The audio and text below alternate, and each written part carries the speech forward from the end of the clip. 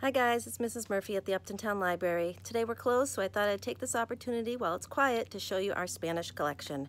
If you're a student in the Mendon-Upton district, you might be a member of the Spanish Immersion Program, and you're also looking for summer reading titles. Well, we have things that can help you out. This is our Spanish collection here at the back of the children's collection. All of these books, you'll notice, have this little red and yellow sticker that says Espanol, and that's how we know our Spanish materials here at the library. We've got a whole bookcase top to bottom full of materials for you, so let me show you what we've got.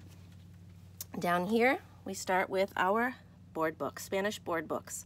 Not many, we're just starting this collection, but we've got a few to get you started.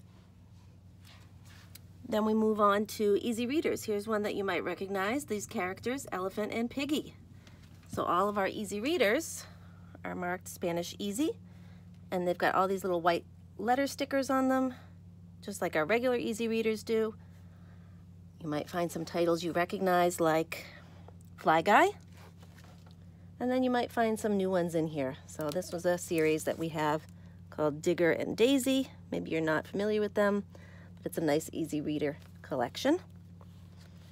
And then we move up to picture books. So we've got a whole shelf just of picture books, and this is a blend of bilingual ones and single language picture books. And what I mean by that is some of them are written in both English and Spanish, and then some are just written in Spanish. So um, families that, that might make a decision on which ones you choose for your kids.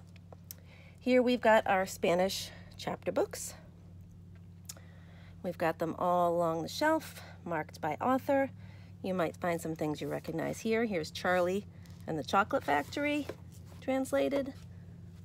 We've got some authentic ones in here. Color of My Words. And we've got some more difficult ones. This is Harry Potter. And then finally up top we have our nonfiction. We've got a small collection of nonfiction topics here and those are also organized by their Dewey Decimal Number, just like our regular nonfiction ones are. So depending what topics you like, you would look for that number. So if you're looking for um, things about the human body, that's 612. We've got lots of different topics, and we're adding to this all the time. Here's an example of a picture book I was talking about. This one is in both languages, English and Spanish. It's called Sing With Me, Canta Conmigo. So it's got the Spanish words and then the English words as well. This would be an example of one that is written only in Spanish, and it's called Sopa de Cactus, and it's a retelling of uh, stone soup, but cactus soup. Also, down on our bottom shelf, we've got summer reading titles that are official to the district, starting with uh, the translation of Freckle Juice, and we've got what was Ellis Island. And then some of these titles here are just previous summer reading titles that might help kids choose something to read this summer. So, we've got lots of things here in our Spanish collection to share with you. Top to bottom, this shelf, chock full, always adding to it.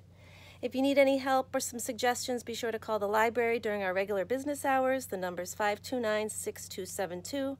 Our contact information with my email address and the directors are on our website, uptonlibrary.org. Um, we have curbside pickup three days a week right now, Tuesday, Thursday, and Saturday, but we're usually here during our business hours anyways to answer the phone and help. So on that note, happy summer reading.